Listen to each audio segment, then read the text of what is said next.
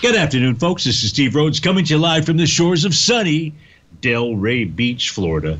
This is your 1 p.m. update, and currently we have a sea of red out there. You've got the Dow trading down 91 points, about three tenths percent.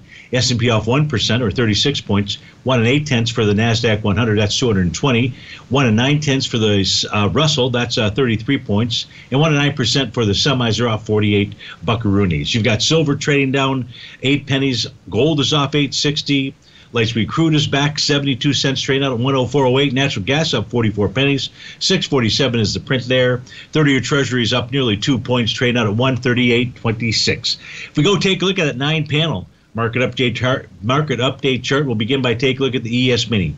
Right now, price is above the top of its daily profile. That's old resistance. That may be new support. That level is 38.42 price was unable to, well, it did close last week above the top of its weekly profile. I take that back.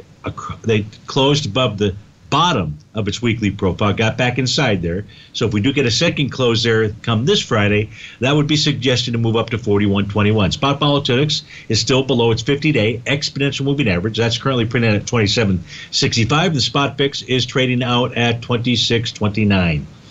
If you take a look at the NQ out here, this is really the big link to the markets moving higher or lower. What price did on Friday was found resistance. Resistance was the bottom of its daily profile. That level is 12,197. Price is trading with inside its weekly profile. That's identified by those yellow lines out there.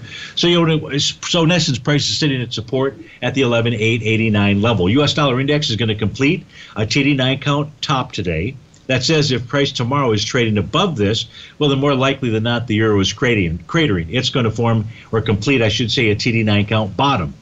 If we take a look at gold, gold has a TD9 count as well. That is, as long as price closes above 1730.70. You close below that, it negates that pattern.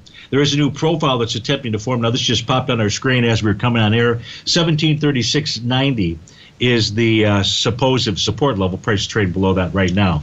Silver has a TD9 count bottom as well. Price is consolidating between support and resistance, 1897 to 1977. Light sweet crude tested and rejected the bottom of its daily profile this morning. That was at the 100.78. Price got down to 100.89.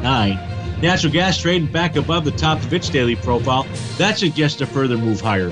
Folks, stay tuned for the Trader's Edge show. But if you're off to start your Monday, have a magnificent one. Thanks again for joining.